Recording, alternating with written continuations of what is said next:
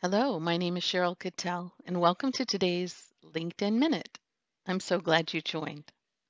Today, we're going to talk about experience, the experience section of your profile. The first place that we see experience show up is right at the very top. And you'll notice that I have this gray silhouette building instead of a logo here. What happens for LinkedIn is they show the first experience on your profile, which is your current position. So let's go down and take a look at that position. All right, here's where the offending building silhouette is. Let me show you how to get rid of that. In this case, FAU is short for, ah, Florida Atlantic University. Look how smart LinkedIn is. But let's say it was for something else. And so what I recommend you do is start typing. Okay, Florida American University. All right, it's not there, but what I'm encouraging you to do is to play the LinkedIn lottery and start typing what it is you're looking for. And you would be surprised how many company logos are within LinkedIn now. Also, if you've typed in your company name before they had a company page on LinkedIn, you'll also see the offending gray building silhouette. So what I recommend you do is just come in here, delete what you have and start typing it again and see what's offered as options.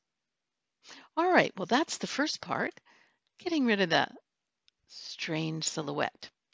The next thing I want to mention about your experience is that you always want to add at least a sentence or a paragraph with some keywords about that job. What is it that you offer? In my case, life coaching, career and business coaching, uh, looking for ways to manifest are things that I do. Also, digital marketing and business experience. So, what I'm encouraging you to do is if you just have the name of the company and your position, what I'd like you to do is change that and add a paragraph and always include keywords. All right. Well, I do want to say that let's say, for example, you have a few jobs in your past. In my case, I didn't want to list them all because uh, I've been around a while.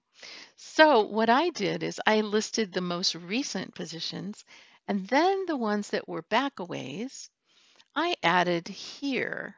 Oops, I just want to see it. See more, not, not edit. What I did is I added a section to my about. And this is where I listed some of the positions I had maybe a little bit further back, that do not appear on my experience section of LinkedIn. So this is one way to deal with lots of jobs in your career over a long span of time. And it's also a way not to lose some of the positions and industry experience. All right, well, that's it for today's LinkedIn Minute. Thanks for stopping by.